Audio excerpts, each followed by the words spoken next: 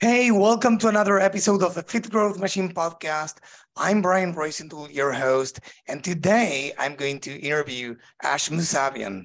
He's been uh, in the commerce space for six years now, and is currently the agency partner manager at Tapcart, a company that turns Shopify sites into beautiful mobile apps. Before talking to him, let me tell you that this episode is brought to you by BSR Digital. At BSR Digital, we help e-commerce brands that want to scale their business to the next level through paid ads and email marketing. Yes, even after the iOS 14 update. Now more than ever, we need to understand that it's really important to level up the marketing and design a solid strategy as what used to work doesn't anymore. So if your e-commerce brand lacks a solid plan and professional team to increase sales, we can help the same way we have helped more than a thousand brands like yours for over a decade. To learn more, you can visit us at bsrdigital.com, or you can also email us at hello at bsrdigital.com. Now, as promised, I have Ash here with me. Thanks, man. Thanks for being on the show. Oh, it's a it's my pleasure to be on it, Brian. Uh, longtime fan, really excited to be here and joining you today. Thank you so much for giving us the space. Yeah, it's my pleasure, man. So why don't you start by telling the audience more about you and your story? Oh, would love to. So um, I guess my journey in e-commerce started uh, back in Toronto when I had joined a full digital agency called Demac Media. At the time that I joined it, I joined as an account manager. But if anyone listening has ever been in the agency world, you know that you quickly wear all sorts of different hats. And it was a fantastic experience. I was working there for over three years. Um, quickly learned to hate Magento and love Shopify. Uh, we were platform agnostic. I got to play around with a lot of different platforms, work closely with merchants. Um, but then I decided the best way for me to go is to choose one platform and kind of narrow my focus. With that, I um, decided to join Shopify, uh, joined them as a senior merchant success manager. Just the opportunity to work with over 60 different merchants in my book and just learn directly from these entrepreneurs was just such a fascinating experience. Like going and diving deeper into their problems, the, the particular solutions that we would look at together, and just helping them advise them. Um, throughout that process, one of the things that I did quite frequently was asking them, "Hey, what are the solutions you're really excited about? What are the things that like are delivering value for you?" And that was the way that I started getting introduced to Tapcart. Um, and uh, I ended up creating a. I was very inquisitive. I was asking questions trying to figure out what Tapcart and mobile commerce is all about. And uh, the COO at the time reached out, and uh, long story short, it was like, "Hey, we just got uh, our funding of Series B. Shopify is now a believer; they're our biggest investor. Do you want to join the team?" And uh, I ended up joining the team as a agency partnership manager, and now I'm here. I love that. You've been, I mean, in the space since the good old days, right? Even before oh, yeah. uh, the algorithm change in 2018, I think it was, where the organic uh, reach decreased a lot, and then well, pre iOS 14, 15, and so on, right? So, oh, I, I, the thing that was crazy, I was actually talking to you about it before we started recording. I remember like we were promising when I had joined uh, at 10 10x ROAS at the time where we joined. Like gone are those days days of just going after new uh, acquisitions, and it was it was really easy, and it was um, just an incredible investment. Yeah, and it's interesting that you mentioned ROAS because you know even if we wanted to get a 10x ROAS, 20x ROAS, or 5x ROAS, whatever that be, the conversation has shifted a little bit, right? Companies are not talking about ROAS that often as they used to, but instead they are talking about how they can level up their game, how they can level up the acquisition and retention efforts, right? And how they can, uh, in the end, grow their business and increase revenue, increase profits, right? Yeah, no, precisely. But you know, it's it's funny because in my current role, I speak to um, about twelve or over a dozen agencies a week, right? And it's always been really interesting seeing the difference when I hop on calls with merchants versus agencies. And at the end of the day, like you're expecting these agencies and experts like yourself to be ahead of the game when it comes to some of the merchants, right? You, surely you have certain merchants that are well, uh, very knowledgeable and know exactly where everything is going. But you can often be caught doing the thing that comes easier to you, you're more familiar with, versus the thing that you should be doing. And I'm totally biased because my tool is clearly a tool that's focused on retention, but specifically with every other um, thing that's come out, like every report that's come out about the climate that we're facing in 2023, whether that's the Shopify trends report that just came out, like near the end of Q, um, Q4, or any other th- article or thought that I've read, retention is so important. But after you actually see what merchants are more eager to invest on, they still are doing what comes naturally, which is like focusing on acquisition. So when they're hitting tough times, it's really interesting how many different conversations I've been a part of where an agency, um, a merchant wasn't able to hit their BFCM numbers. And one of the first things that they cut was their retention marketing. And my mind's blown by that. It's like, how would you go about doing that? Like, where is the logic there? The shiny new thing is not always the best thing for you to invest your money on. These are people that have already purchased from you. Uh, so it's going to be way easier for you to target them and get more value out of them as opposed to someone net new. Agreed. You know what? You know, I come from the background of, uh, I have a background in computer science and I used to be a developer. I keep the glasses, you know, for those who are watching the, the video version. And, you know, back the back in uh, 2011, I um, we we we had a, a, startup in the tech and marketing both you know um, uh, industries, and it was about the early days of loyalty programs. But mm-hmm. on the back end, it was all about trying to match who bought what, right? So the profile of those you know customers that bought certain things to make them come back.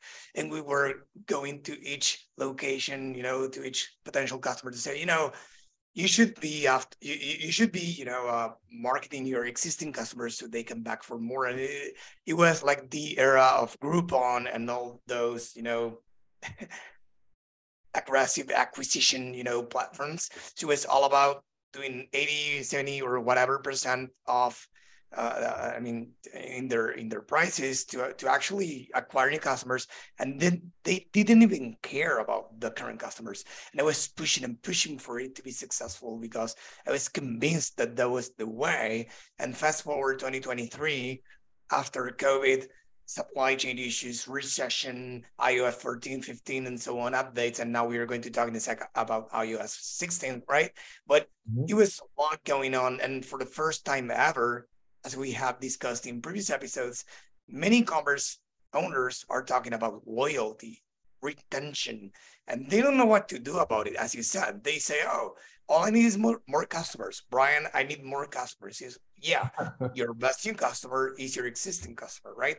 If you're not, if you're not doing anything to increase your average order value or increase the lifetime value if you want to decrease the time between purchases as well, right? You're not going to be successful as a brand, right? Because the acquisition costs are getting higher and higher, right? I mean, that's precisely it. Like it's it's very simple. If you continue to think about it, it's like acquisition costs have continued to climb. And transparently, take a look at the number of merchants that are actually first of all, evaluating what the lifetime value of their merchants, uh, their, their customers are. A bunch of people don't even know that, right?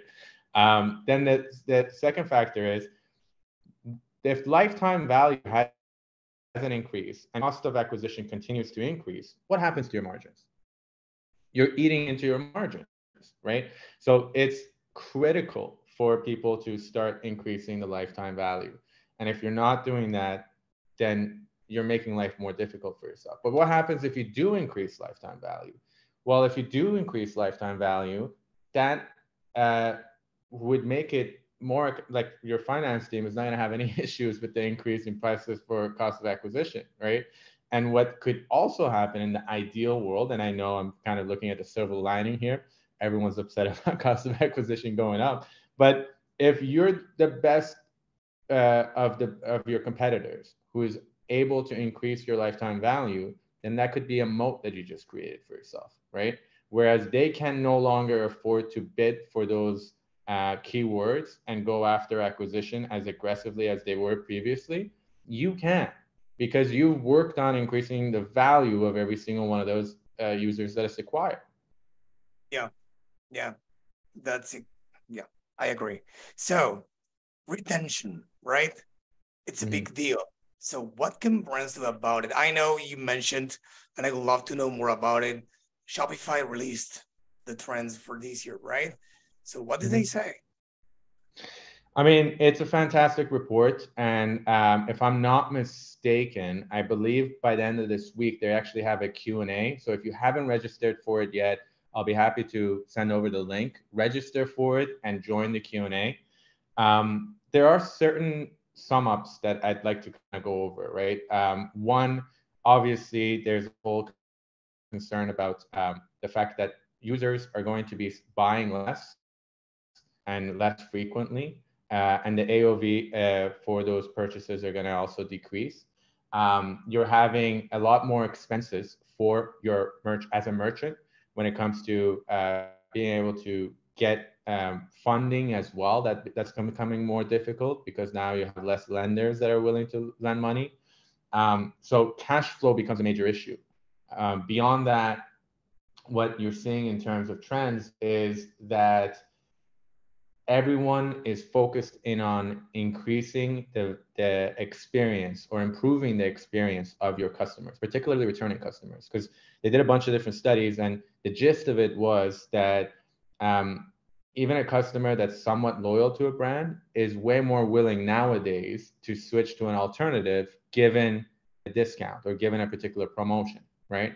So if we are able to create more of an affinity with the with the brand with your best customers you're you're going to detract or reduce their need or urgency for them to go to your competitors. Because at the end of the day the other things that you see that are positive is that customers are way more conscious about who do they choose to uh, buy from and what are like some of the values social values in, that the brand stands for right? So if you see them being um, conscious in terms of like the environment or various other causes or concerns that your your your audience has and you're able to meet those things then the likelihood of them wanting to go to an alternative is way less right? So it's critical for you to create some sort of special feeling exclusivity something that's going to keep your returning customers coming back and keep them in the know and this is where tapcart really shines right because a mobile app was a, a, a, massive undertaking before, right? It would have required six months of um, development. It would have cost hundreds of thousands of dollars. And trust me, I've been there actually hearing uh, different tech partners talk to my merchants and tell them it's incredibly easy. But then when you actually came to implementing the tool, it was a pain in the butt. And I, I can totally get the reason why if it's a net new tool for a merchant, people will be hesitant. One of the reasons why I ended up joining this company was because of the fact that I was involved in the implementation process um, several times as a Shopify MSM for my merchants.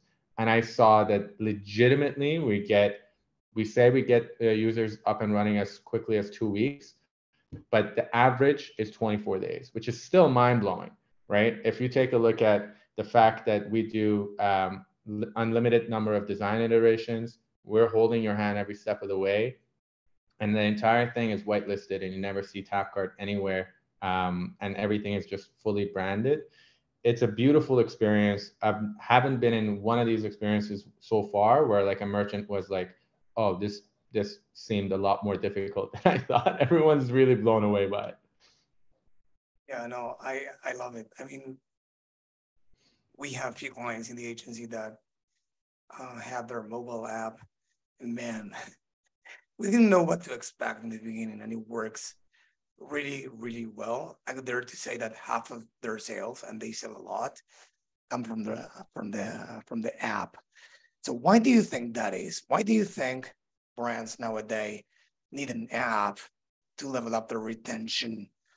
Um, because many many e-commerce brands uh, listening to this or watching this episode might be thinking, "Hey, probably it's the right move for me," but is it? Great question. I think there are certain things that you could look at to first figure out whether or not like we should even have the conversation.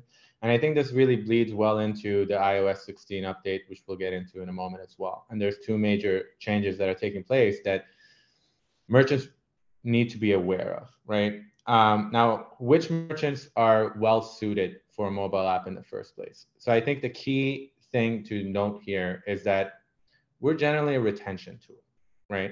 Um, so it's important to recognize that generally speaking, there's two ways of thinking about it.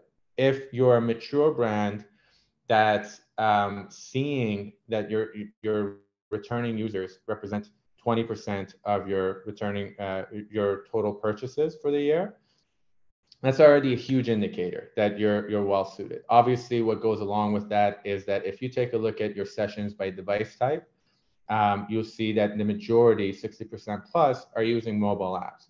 If that's not the, the fact, then there's no point talking to you. And don't get me wrong, there are certain brands that are still in that category. So, for instance, there are some rejuvenation uh, creams that only geared are targeting people that are above 65 years old. So, if that is the case, we're not a good fit for you, right? Because you're going to see mostly people purchasing from desktop.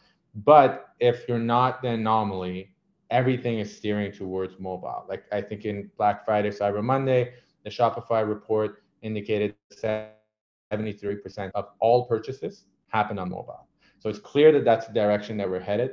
And I guess the other aspect of it that really helps illustrate this is this year was not a really good year for tech. A lot of different tech companies ended up not having to do major cuts. Um, but because of the fact that we're in both uh, retention and mobile, Tapcart did really, really well last year, and we're, we're continuing to hire more. But going back a step, the things that you look for are, as I said, um, you're seeing your returning customers uh, representing uh, at least 20% of your sales. And then beyond that, you're seeing the majority of your customers actually leveraging mobile to interact with you. Um, other things that are important is the nature of your products, right? If you have replenishable goods and or you have a deep catalog, that makes it that much better, right? If you're just selling just couches and you haven't yet expanded your product line to include throw pillows, I don't know, accent chairs, whatever, so on and so forth, to just really increase the product line. So you have a good reason for people to keep coming back to your store, whether that's product drops, content, right? Or uh, you have special promos, then a mobile app might not be best suited for you. But if you do have that and you're focusing on people continuing to interact with your brand, then we should definitely have a chat and you should reach out.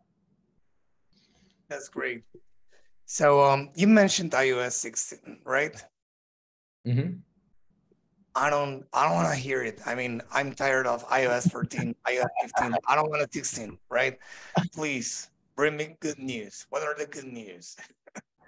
so there are some good news, right? I think um, look, at the end of the day, we gotta take a few steps back and recognize why Apple is doing everything that it's doing. And then it's trying to create a better user experience, right? And it's trying to protect us as individuals.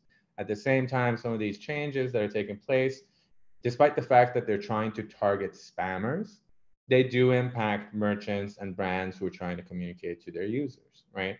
So there's two major changes that are taking place um, that I think everyone should be very well aware of. Number one is how are um, abuse cases, and I'm using quotation marks here, uh, being reported to uh, being reported, right? So previously, what would take place before iOS 16 is that there would be a direct line of communication between the brand and the user.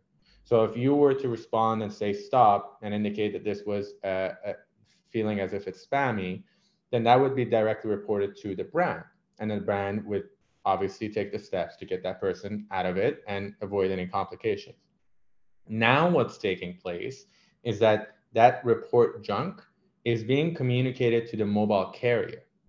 So the same way as remember how this happened with um, like email providers, and as soon as you you you get a certain number of complaints, now you're blacklisted, and and going forward, you're you're flagged as a spammer, and certain campaigns are dropped, and you can't meet those um, like you can't meet your campaign demands. The same thing is going to happen over here, right? So you got to be very careful about how you go about communicating with these folks. The second change is that um, same way that it happened with email previously, it's very easy now, and they're going to roll this out uh, in, in, in the coming weeks, is that you're going to see um, filters and how they're being processed. So now you could quickly put your spams into the promotions tab. And the same way as promotions tab really do a good job of hiding all the messages that are coming in from brands if you don't want to see them, the same thing is going to happen with SMS. The, one of the biggest advantage of SMS was that you're able to get a ridiculously high uh, open rate, right? So as we're talking to different agencies, we're talking to different advisors, the general estimate is that once this actually goes live, you're going to see 30 to 35% drop in open rates um, in when it comes to SMS, which is pretty significant, particularly if you take into effect that uh, you take into account that SMS is something that you're paying for, right? And this brings us back to why do you want to invest in a mobile app in the first place? So let's pretend that you are one of the uh, uh, merchants that fits within the criteria that we described earlier. The reason why you're looking at a mobile app is two things. One, we're a marketing channel right? And at this point, we're going to be your best bet for a marketing channel because um, we have uh, push notifications that are going directly on the phone of the individual, whether it's a lock screen or an open um, phone, where you're getting content rich images that are immediately being sent to them. Um, our click through rate already is above SMS and email. It's seven times email, it's more than double SMS, and it's only going to get better. And the beautiful part about push notifications is that it works within apps, within Apple's uh, ethos, right? Within their um, playbook, because we're using it, we're an app that you downloaded off of Apple. So it's not as if your ability to send push notifications is going to go away. And the other aspect of it is that it's free and unlimited, right? Whereas with SMS, you would have to pay per send. With push, you have unlimited access to it and we don't gate you in any way, shape, or form. So we covered up the fact that it's a marketing channel, but it's also a sales channel. Now, the same way as why is Shopify Payments, for instance, the smoothest, fastest payment processor that you can have access to on Shopify? Because it was built for Shopify. Um, the same thing is apparent when you take a look at mobile apps versus the mobile web version of your site. I'll take the Pepsi challenge any day of the week. We're going to be faster than your mobile web experience. We're going to be uh, notably faster. We have less clicks to check out, and it's going to be a better UX and UI. And that's why we're seeing at least a 40% increase in conversion when you're comparing the mobile web versus the mobile app, as much as like 3x the, the, the conversion rate. So, like, the numbers are in we're really excited about what took place in BFCM. We saw on average a 20% increase in AOV, and we saw on average a 40% uh, increase in conversion rate. Um, so these are the ways we're able to help these merchants grow, particularly as we look at creating a unique experience for returning users and rewarding these folks for coming back to you. Yeah, that's very interesting. And I don't know if what I'm going to say is exactly accurate. I'm just thinking about it. So, to you and to all of you listening or watching, my apologies if some of the things I'm going to say are not accurate. But I'll do a brief description of the last few years uh, in terms of the trends. You know, we had COVID and the, there was a boom in e-commerce. We all know that by now, right? But then iOS 14 hit in early, I think it was late April, 20, April 26th, 2021 or something like that. And 2021 probably was the battle of the tracking and the attribution and how to track things off the platform because the platforms weren't as accurate as, you know, they used to. So it was all about, you know, getting your house in order with regards to the mm-hmm. events priority on Facebook or uh, similar things on Google and get probably a middleman, a tool like, I don't know, Triple Whale Hyros or Rockerbox, Northbeam to mention uh, uh, some, you know, but mm-hmm. then 2022 was probably the year where it was the recession, the iOS 14 or 15 uh, update uh, hit um, more. And then brands realized that they needed to do a level up on the retention more than ever, right? Because the numbers weren't there. And now they're mm-hmm. slowly seeing that they need to do that even more, as well as doing a level up on the creative side of things because the audiences are getting smaller. The automation for the audiences and the optimizations are in, I mean, are a commodity right now. Every agency mm-hmm. or every brand can target the same audiences, but they need to level up the messages. And the mm-hmm. retention is way, way more important as before. And things have been changing throughout the last few years, as I said. And now things are going to change again for SMS. So if you're listening to what Ash is saying, is that the same way things have changed during the last few years, things are about to change again. So your SMS game might be working really well right now. We don't know how it will play out in the next few months, but things are going to change. So if you're not ready, you better be and follow uh, his advice. Uh, so do you, do you agree with, with what I just said? Do you have anything to add or to change probably? Look, I I think one of the biggest things that I'm really thankful for for being on this show and just being able to talk to you, Brian, and just being able to educate because at the end of the day, um, what I'm really excited about is that more and more people are learning and understanding. I think that's the biggest part when it comes to mobile commerce.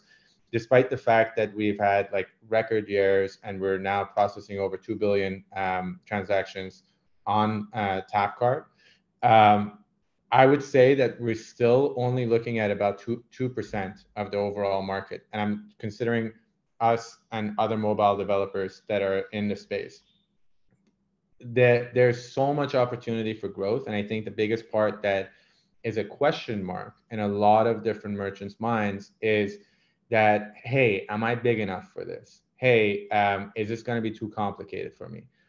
Is this is this is completely new? How am I going to be able to convince my bosses and or investors about investing in such a huge uh, investment?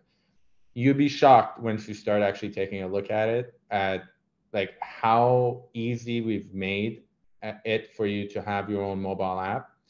And the biggest other part that I think it's important to clarify is that we are currently um, the only mobile app developer out there that also allows for customizations in app for our merchants. And the key other part that I think we need to address is that look, even if you have the best solutions out there, oftentimes merchants don't have the, the time to dedicate to getting the best out of that app or that tool, right? So if they're only getting like 20% or something like that uh, usage out of an app, then they're not going to see the results, right? One of the things I'm really, really proud of at Tapcart is our customer successes team um, in general, their ability to coach and guide merchants throughout this process and the ever extending group of uh, agency partnerships that we've created where they're able to step in and help you get the most out of your app right? Um, and what we've often find is i have like reviews from art of tea from various different um, merchants that we work with that say they need about 1 16th of a person's time to actually have a really good app and see something like 90% uh, sorry, within 90 days, they're able to see 20 or 30% of their overall sales going through the Tapcart app, right? It's incredibly easy to set up. It's incredibly easy to manage. It's just a no-brainer. Yeah, I agree 100%. So for everyone listening, where they should go to find out more about you and Tapcart? Um, great question. So everything is available for you to um, just take a look at the site. If you'd like to leverage this podcast and get a special promotion that's coming through our partners, um, feel free to reach out to ash at tapcart.com. Um, it's the simplest way to get a hold of me. Obviously, Ash Mousavian on LinkedIn. Feel free to ping me if you ever want. Um, I'm available to just chat through things and just make sure that this is the right tool for you. You can obviously also take a take a look at tapcart.com and request a demo. Uh, going through me because of our relationship with Brian, I'll be happy to extend to you guys uh, a special promo um, where you would get 60 days free, and you'll even get Insights Pro, which is an additional tool that we offer for the first 12 months for free. Awesome. I appreciate that. I mean, Ash, it was a true pleasure to have you on. It was definitely an interesting conversation. So I appreciate your time. My pleasure. It's always a joy chatting with you. And thank you so much for giving us the space to chat.